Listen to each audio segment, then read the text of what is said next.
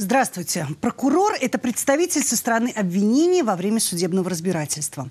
Он занимается сбором сведений, которые бы указали на виновность подсудимого, собирает непосредственные улики, опрашивает свидетелей, разрабатывает логические цепочки случившихся правонарушений. Граждане нашей страны и всего мира обязаны жить, соблюдая законы, но законодательство, к сожалению, знают далеко не все. Вот именно поэтому появилась необходимость такой должности, которая поможет соблюдать законопослушание и добропорядок порядочность населения. В противном случае в ход идет прокурорская работа. Это программа «Прокурор в теме» и заместитель прокурора Кировского района, советник юстиции Андрей Юрьевич Чудайкин сегодня у нас в гостях. Здравствуйте. Здравствуйте. Ну что ж, поговорим о вашей работе, о вашей роли. Так вот, а каков правовой статус прокурора в уголовном процессе? Расскажите, пожалуйста. А, положение федерального закона о прокуратуре предписывает прокурорам обеспечивать верховенство закона единого правового пространства страны. Вот, также а, нам предписано укреплять закон, защищать права и свободы человека и гражданина, также охраняемые законом интересы общества и государства. Поэтому, когда прокурор вступает в дело, он, он делает это прежде всего в, вышеуказанных мной целях, а также для обеспечения соответствия законам действий и решений участвующих в деле лица и законности и обоснованности судебных постановлений. Андрей Юрьевич, ну скажите, пожалуйста, все-таки какова миссия прокуратуры и а, вот как участника именно уголовного судопроизводства? А, здесь следует отметить, что в современных условиях, то есть правозащитная деятельность органов прокуратуры занимает особое место в процессе реализации конституционных норм. Вот именно от профессионализма и принципиальности а, органов прокуратуры зависит эффективность защиты прав и свобод человека и гражданина, а также вопросы борьбы с преступностью. Поэтому полномочия прокурора по защите интересов а, граждан, общества и государства реализуются прокурорами в различных формах. К ним относится не только участие прокурора прокурора в уголовном судопроизводстве, а также, а, например, предусмотрены нормами гражданского процессуального законодательства и административного судопроизводства возможность выступать в защиту а, прав интересов лиц, которые, например, по состоянию, здоровью, возрасту, недееспособности самостоятельно не могут защищать свои права. Угу. Вот. И ну, следует отметить, что такая функция а, в деятельности органов прокуратуры является весьма востребованным инструментом, поскольку действительно зачастую только возможность обращения в суд может послужить Э, активным, то есть весьма способом для восстановления нарушенных прав э, граждан. Но вот все-таки насколько активно прокуроры реализуют свои процессуальные полномочия э, по защите интересов граждан, общества, государства? Ну, здесь можно сказать, что с точки зрения правозащитной функции, вот у участия прокуроров э, в различных видах судопроизводства, ну, следует сказать, что ну, является весьма важным, важным направлением.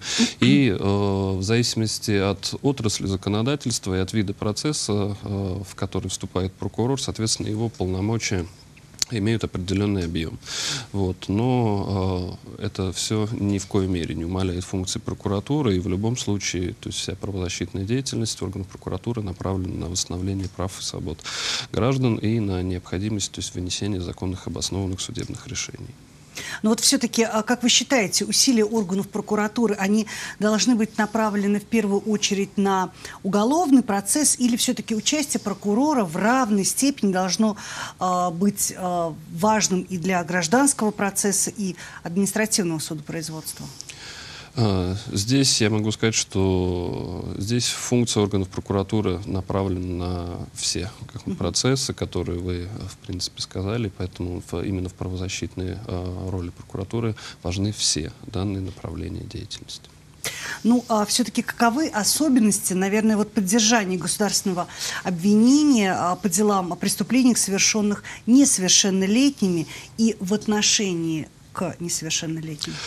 Здесь следует отметить, что, безусловно, то есть эта категория дел имеет свои правовые, организационные, даже зачастую то есть психологические а, особенности, вот, потому что преступления, совершенные как несовершеннолетними, так и в отношении несовершеннолетних, как правило, приобретают определенный общественный резонанс.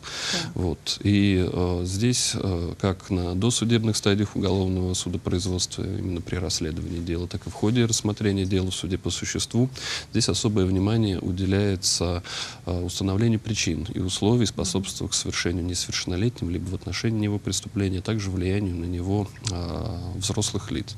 Вот. Соответственно, в случае совершения преступления несовершеннолетним либо в отношении несовершеннолетнего прокурор должен проанализировать деятельность органов профилактики э, безнадзорности и правонарушений вот, несовершеннолетних, а также иных э, многочисленных органов организаций, например, в частности, в сфере образования, здравоохранения, организации досуга несовершеннолетних, вот, органов охраны э, общественного порядка и безопасности. И, э, ну, соответственно, в случае выявления недостатков в их деятельности, которые в том числе вот, ну, повлекли совершенно несовершеннолетним в отношении него э, преступлений, вот орган прокуратуры принимает к ним соответствующие меры прокурорского реагирования. То есть, ну, это в каждой конкретной ситуации. Вот. И э, также э, прокурор э, проверяет соответствующие э, органы Э, учреждения по профилактике, которые контролируют вообще, то есть поведение законных представителей либо родителей несовершеннолетнего, то есть и оценивают э, их с той точки зрения, то есть надлежащим образом либо ненадлежащим образом они исполнили свои обязанности. Вот. Действующее законодательство у нас э, предусматривает э, как уголовную, так и административную ответственность за невыполнение либо ненадлежащее выполнение. А, обязанности по воспитанию детей, либо контролю за их поведением. Вот. В частности, а, Уголовным кодексом у нас предусмотрена ответственность за вовлечение несовершеннолетних в совершение преступления, либо за вовлечение в совершение иных каких-то антиобщественных деяний. Вот. Отдельная статья Уголовного кодекса посвящена это неисполнению, либо ненадлежащему исполнению родителями, законными представителями, либо органами и организациями, которые должны контролировать поведение несовершеннолетних, вот, своих обязанностей по воспитанию если это деяния были э, сопряжены с жестоким обращением по отношению к несовершеннолетним. Вот. Что касается уголовного процесса, то э, к числу правовых особенностей рассмотрения дел судом с участием несовершеннолетних также следует отметить особый правовой состав участников э, судопроизводства. Здесь в данном случае к э, участию э, в процессе привлекается педагог либо психолог. То есть вот и все непосредственные действия, вот допросы, допросы как потерпевших, mm-hmm. так и там подсудимых производятся с его участием. Вот. Также действующее законодательство позволяет э, не вызывать в суд для допроса несовершеннолетних потерпевших, либо свидетелей, а, если обвиняемому на досудебной стадии уголовного судопроизводства была дана возможность каким-либо образом оспорить их показания, в том числе при проведении очной ставки. Но если сторона защиты возражает против оглашения их показаний, суд признает все-таки явку несовершеннолетнего для допроса в качестве свидетеля потерпевшего обязательной. Вот, э, также суд по ходатайству государственного обвинителя вот, может ходатайствовать о допросе данных несовершеннолетних лиц в отсутствии подсудимого. Скажите, а много на территории вашего района э, было совершено преступлений? Ну, давайте будем говорить об этом годе, э, вот именно с участием несовершеннолетних. Ну, если провести статистику, то э, за а, первый квартал этого года, за первый квартал этого года, то есть несовершеннолетними лицами у нас было совершено 7 преступлений против 16, если брать -huh. за 2021 год. -huh. Поэтому на данный момент на территории района идет тенденция к снижению подростковой преступности. -huh. Ну хорошо. А каковы особенности участия прокурора в судебном разбирательстве от уголовного дела именно с досудебным соглашением о сотрудничестве? Здесь следует отметить, что э, досудебное соглашение о сотрудничестве заключается между прокурором и там, подозреваемым либо обвиняемым лицом угу. вот еще до стадии судебного разбирательства, а именно в ходе предварительного следствия. Вот. Это, соответственно, процедура оформляется отдельным процессуальным документом. Вот, в данном процессуальном документе то есть, излагаются конкретные действия, конкретные действия, которые должен совершить э, подозреваемый и обвиняемый, вот, для того, чтобы способствовать раскрытию и расследованию уголовного дела. Вот, и, соответственно, по э, результатам предварительного следствия, при изучении уголовного дела, прокурор уже оценивает, насколько э, обвиняемый выполнил угу. условия, которые были предписаны досудебным соглашением о сотрудничестве, и в случае, если он их выполнил, то соответствующим ходатайством уголовное дело направляется в отношении него в суд. В дальнейшем в ходе судебного разбирательства также государственный обвинитель оценивает а, вообще, то есть обоснованность то есть данного ходатайства и пределы его, вот, выполнение подсудимым вообще, вот, учитывается роль, учитывается роль подсудимого раскрытия и расследования преступления, изобличению других участников, преступления, какие меры, то есть также принимались к розыску имущества, добытого преступным путем. Также учитываются обстоятельства, смягчающие, отягчающие наказания, а также обстоятельства, характеризующие личность подсудимого. Вот, поэтому, безусловно, а, в данном виде то есть процесса, процесса также важна весьма активная роль а, государственного обвинения. Это мы сейчас говорим о том, что чистосердечное признание да, смягчает вину и сотрудничество между подсудимым и прокурором, ну то есть, да, это ну, какая-то посильная помощь в расследовании? Ну, если говорить про признание вины, я, явку с повинной, угу. то все-таки да. досудебное соглашение сотрудничества немного шире, угу. шире, то есть, безусловно, этого понятия, поскольку, то есть, кроме признания вины, признания вины, то здесь уже обвиняемым необходимо выполнить еще ряд различных иных угу. действий, действий, то есть, чтобы способствовать органам предварительного следствия раскрыть преступление. Ну, соответственно, конкретный перечень действий, которые он должен выполнить, он индивидуален, и учитывается в зависимости от обстоятельств совершения преступления. А насколько, если э, преступник идет на сотрудничество такое, о чем мы с вами говорим, насколько э, может у него сократиться срок? А, ну, соответственно, уголовно-процессуальным законодательством у нас э, рассмотрение дел с досудебным соглашением о сотрудничестве вынесено в отдельную главу, в отдельную главу, вот, и, э, соответственно, наказание назначается уже в пределах санкций, в пределах санкций, которые, то есть, также предусмотрены вот, ну, это все зависит также от, от категории преступления, от наказания здесь. Поэтому в любом случае индивидуальный подход идет, но, конечно, наказание сокращается существенно. Угу. Хорошо. А, сильные, какие прежде всего нужны а, для прокурора профессиональные и личные качества вот все-таки для эффективной работы именно в судебном процессе? Ну, здесь следует сказать, что чем выше уровень нравственной, то есть культуры работника органов прокуратуры, то, безусловно, тем эффективнее он выполняет свои служебные обязанности. И тем более, ну, ну, более ответственно относится к процессу и результату своей деятельности. Потому что именно по выступлению прокурора в суде в суде вот, граждане и общество оценивают вообще то есть правозащитную функцию органов прокуратуры вот, и то, насколько а, органы прокуратуры следуют гуманистическим ориентирам. Вот, прокурор выступает в суде от имени государства, поэтому его поведение, слова а, и вся речь должна соответствовать соответственно, ну, самым высоким стандартам. Вот, это подразумевает а, высокий уровень как правовой и общей культуры, а также владение ну, основами психологии, приемами оратора ораторского мастерства, поскольку все вот эти качества, которые я указал, они важны вне зависимости от процесса, вот, будь то это уголовный процесс, администра административное либо гражданское судопроизводство. Расскажите, пожалуйста, о своем личном опыте, как вы готовитесь к выступлению в суде? А, ну, здесь следует сказать, что, безусловно, перед а, поддержанием государственного обвинения мной детально изучаются материалы уголовного дела, вот, выясняются все обстоятельства совершения преступления. Вот, в первую очередь, конечно, если, э, учитываются обстоятельства, характеризующие личность подсудимого, вот, все смягчающие, отягчающие обстоятельства. Вот, его роль в раскрытии расследовании преступления. Также немаловажным фактором э, является э, возмещение ущерба подчиненного преступлениям, вот, на, насколько заглажены права потерпевшего подсудимым. Вот. И, а, соответственно, когда все данные обстоятельства исследуются в суде, в суде, вот, в зависимости ну, от порядка исследования доказательств, вот, с учетом всех обстоятельств, которые я указал, уже э, и, ну, поведение подсудимого, его отношение к предъявленному обвинению, это безусловно, это безусловно также влияет на вид и размер э, назначенного наказания. Вот, уже с учетом всех этих факторов уже принимается решение о том, э, какой вид и размер наказания предлагать суду, суду вот, э, опять же, по итогам судебного разбирательства. А вы лично общаетесь э, с подозреваемым, с преступником уже до выступления в суде?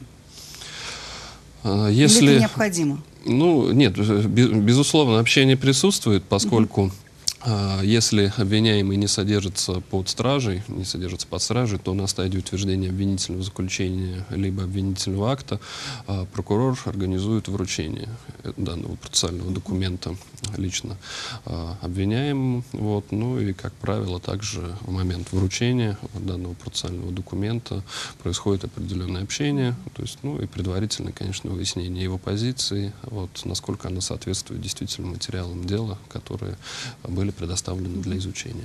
Андрей Юрьевич, скажите, пожалуйста, а сложно ли оставаться беспристрастным? А, я сейчас не буду использовать слово равнодушным, наверное, и нет, а вот именно беспристрастным, когда а, идет а, и обсуждение в суде, и вынесение приговора. Я в плане ответственности вот личного человеческого отношения. Ну, здесь, э, безусловно, нужно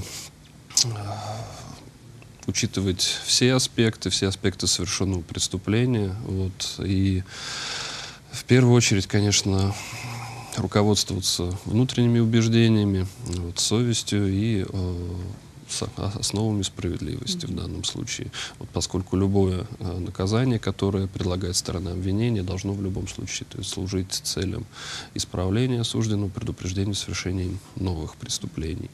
Вот.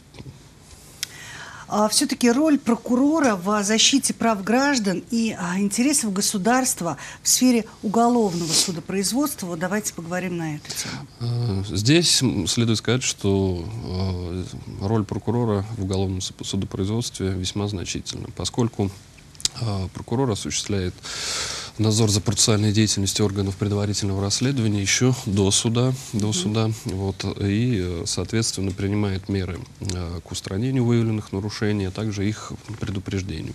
Вот, наряду с этим, наряду с этим, э, до начала судебного разбирательства при производстве предварительного расследования. А, прокурор а, участвует, участвует при рассмотрении в суде ходатайств, ограничивающих конституционные права граждан. Ну, в частности, а, к данному виду ходатайства следует отнести ходатайство органов предварительного расследования об, избрании меры пресечения в виде заключения под стражу в отношении подозреваемых либо обвиняемых, вот, об избрании меры пресечения в виде домашнего ареста, запрета определенных действий, вот, вопросы о внесении из залога, а также при рассмотрении вопросов о наложении ареста на имущество подозреваемых обвиняемых вот, с целью последующего либо возмещения ущерба потерпевшим, либо возможности исполнения а, наказания в случае его назначения судом. Поэтому здесь следует сказать, что для прокурора одинаково важно, чтобы в равной степени были соблюдены э, права всех участников судопроизводства, то есть как со стороны обвинения, так и со стороны защиты. Вот, и э, на Опять же, то есть в судебных стадиях уголовного судопроизводства а, прокурор отстаивает публичный интерес, как я уже сказал, потому что он выступает от имени государства. Поэтому, если сторона защиты представляет интерес конкретного подсудимого, вот, или, ну, либо обвиняемого на стадии следствия, здесь прокурор выступает от имени государства. Вот в ходе э, рассмотрения дела по существу вот стороны как обвинений и защиты, соответственно, предлагают, э, ну, исследуют свои доказательства, которые были э, собраны на досудебной стадии производства. Вот суд в свою очередь, в свою очередь уже оценивает все представленные доказательства, как с точки зрения стороны обвинения, так и с стороны защиты, не вставая ни на одну из, из сторон. Здесь в данном случае роль суда заключается в том, чтобы не принимать ни сторону ни обвинения, ни защиты в ходе разбирательства, обеспечить возможность реализации сторонам их процессуальных обязанностей, гарантировать соблюдение вот, э, прав лиц, которые участвуют э, в ходе судебного разбирательства. Также немаловажным аспектом прокурорской деятельности при поддержании государственного обвинения это является обжалование э, судебных постановлений, которые выносятся как на досудебной стадии судебного разбирательства, так уже и непосредственно в ходе разбирательства в суде по существу. Вот это право реализуется путем принесения апелляционных либо кассационных представлений в суды вышестоящей инстанции. Также следует сказать, что данное право э, полностью предоставлена стороне защиты и не может быть каким-либо образом ограничен. Угу. Но это может быть здесь э, к вопросу о практике возвращения уголовных дел прокурору. Расскажите вообще об этом понятии поподробнее и как часто происходит э, возврат. Да, действительно, э, Э, такая практика, безусловно, имеется, поскольку по закону прокурор должен нести э, полную ответственность за результаты уголовного преследования лица.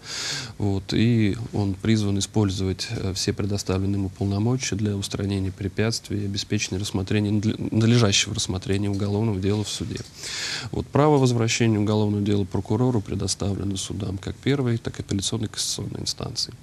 Вот, уголовно-процессуальный закон предусматривают обязательные условия, то есть при которых возвращается уголовное дело прокурора, то есть это именно тогда, когда при расследовании уголовного дела, либо при рассмотрении уголовного дела по существу были допущены такие нарушения закона, вот, фундаментальные, которые препятствуют суду рассмотреть дело по существу. И поэтому целью э, процедуры возвращения дела прокурора является не, не восполнение неполноты либо пробелов следствия, а лишь, то есть действительно, устранение при, таких препятствий, э, чтобы к рассмотрению дела, э, чтобы ну, они потом в последующем не повлияли на вынесение законного и обоснованного судебного решения. Ну, в частности, можно сказать, что одним из самых распространенных оснований э, для возвращения уголовного дела прокурора это является нарушения, допущенные при составлении обвинительного заключения либо обвинительного акта. Угу. Андрей Юрьевич, вот, а способствует ли государственный обвинитель соблюдению разумных сроков при рассмотрении уголовного дела судом первой инстанции? А, вопросы соблюдения разумного срока уголовного судопроизводства у нас действительно сейчас приобретают все большую актуальность, но это обусловлено тем, что э, все участники уголовного процесса, чьи права и законные интересы затрагиваются, в связи с э, расследованием, то есть уголовного дела, его судебным рассмотрением, вот, должны иметь право на своевременное вообще, то есть, как мы говорим, восстановление их прав, то есть, вот, и э, на своевременное рассмотрение дела по существу. Вот, э, с целью недопущения нарушений положения о разумном сроке уголовного судопроизводства в Уголовно-процессуальный кодекс э, введена соответствующая статья э, 6 со значком 1, вот, э, которая как раз-таки э, и э, закрепляет необходимость соблюдения разумного срока уголовного судопроизводства. Критерии э, соблюдения ну, вот, разумности судебного разбирательства, в частности, установлены у нас Европейским судом по правам человека. Вот к ним следует отнести, ну, в частности, можно выделить такие критерии, как сложность рассмотрения э, дела. Вот, это, опять же, поведение участников уголовного судопроизводства, как потерпевших, так и обвиняемых. А также э, какие конкретные действия совершаются государственными органами, вот, и как их действия влияют на оперативность рассмотрения дела, на то есть своевременное истребование доказательств. Вот. А, ну, по уголовным делам, где обвиняемый либо подсудимый содержится под стражей, то, безусловно, вот, соблюдение данного принципа является очень важным. Очень важным. Вот. При рассмотрении, э, если говорить о судебных стадиях уже уголовного судопроизводства, то при рассмотрении дела суд в первую очередь, конечно, должен дисциплинировать всех участников процесса, чтобы их действия не повлекли необоснованного затягивания срока рассмотрения дела по существу. Вот. Э, также приказ генерального прокурора Российской Федерации вот, об участии прокуроров в судебных стадиях уголовного судопроизводства предписывает государственным обвинителям не только способствовать принятию судом законного, обоснованного и справедливого решения, вот, но а также соблюдать требования о разумном сроке уголовного судопроизводства, в том числе при рассмотрении уголовного дела по существу в первой инстанции.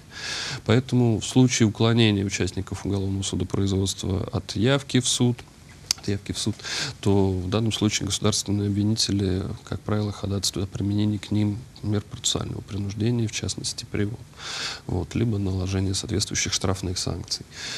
Вот. При необходимости также суд истреб... может истребовать э, сведения вот, о причинах неявки лиц, сведения, их о состоянии, сведения о состоянии их здоровья, ну, чтобы определить то есть, причину их неявки также. Вот. А, Кроме того, кроме того, если в ходе рассмотрения э, дела выявляются иные какие-то обстоятельства, которые затягивают э, судебный процесс, вот органы прокуратуры также могут применять меры прокурорского реагирования по фактам там, длительного производства судебных экспертиз, там, несвоевременного э, доставления подозреваемых, обвиняемых, подсудимых, содержащихся под стражей конвойной службой вот, в суд для того, ну, для того, чтобы были обеспечены их права на непосредственное участие в судебном разбирательстве. А, кроме того, кроме того, если в ходе рассмотрения дела по, по существу выявляются также, э, вот как я сказал, вот эти вышеуказанные обстоятельства, суд уполномочен вынести частное постановление либо определение, в котором также то есть, указать, что данные действия, вот, либо бездействие государственных органов, организаций также влияют на своевременное рассмотрение дела. Ну что ж, спасибо вам большое. Наше время подошло к концу. Спасибо всем тем, кто был сегодня с нами. Вы смотрели программу «Прокурор в теме». Всего хорошего. До свидания.